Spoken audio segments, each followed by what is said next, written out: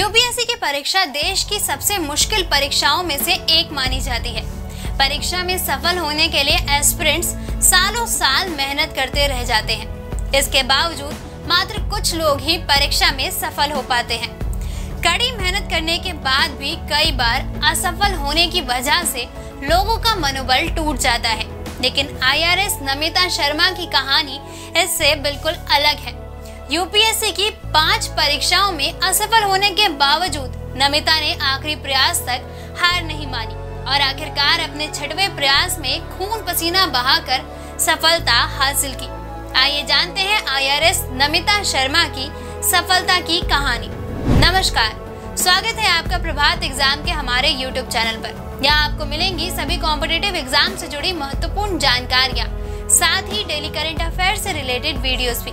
अगर आप हमारे चैनल पर पहली बार आए हैं तो हमारे चैनल को लाइक और सब्सक्राइब करना ना भूलें।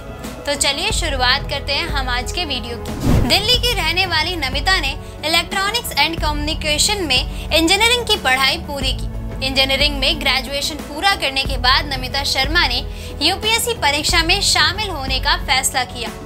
आईआरएस नमिता शर्मा यूपीएससी परीक्षा में पाँच प्रयासों में असफल हो गई थी। इसमें से चार बार वो प्रीलिम्स परीक्षा भी क्लियर नहीं कर पाई थी।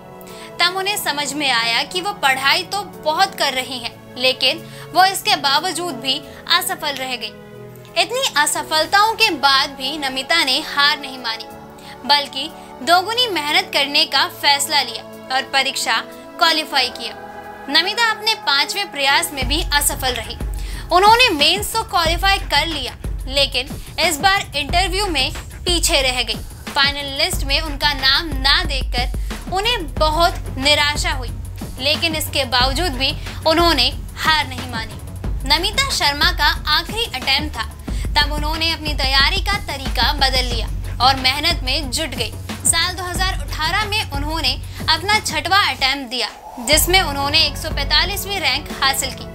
नमिता शर्मा ने यूपीएससी परीक्षा अपनी स्ट्रेटजी सोशल मीडिया पर शेयर की है। जिससे अन्य उम्मीदवारों को भी काफ़ी फ़ायदा मिल सके।